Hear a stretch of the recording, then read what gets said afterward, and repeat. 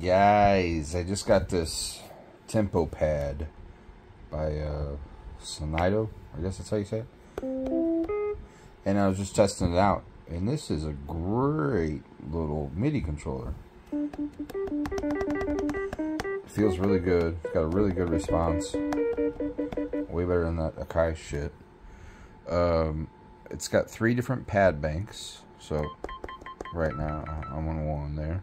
It's the blue mode, red mode,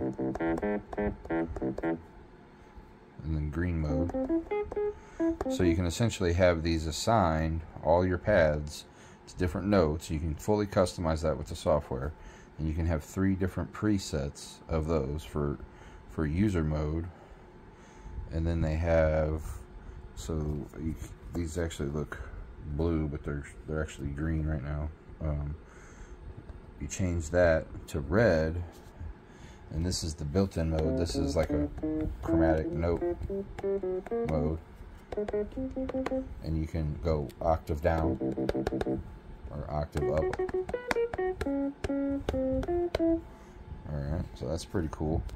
Um, so we got that and then you got your knobs. The same thing here. You got four knobs and they have a bank for each of those. And look at the lights change on there. So you got green, blue, and red. So that's really cool that the lights change underneath the, the encoders too because you can actually see what mode you're in there. Um, and you, as you can see, it's got some uh, velocity types, so you can change the you can change the way the pads respond. You, they get more sensitive, less sensitive. You got note repeat, tap tempo, and some transport controls. And this is all customizable too in the software.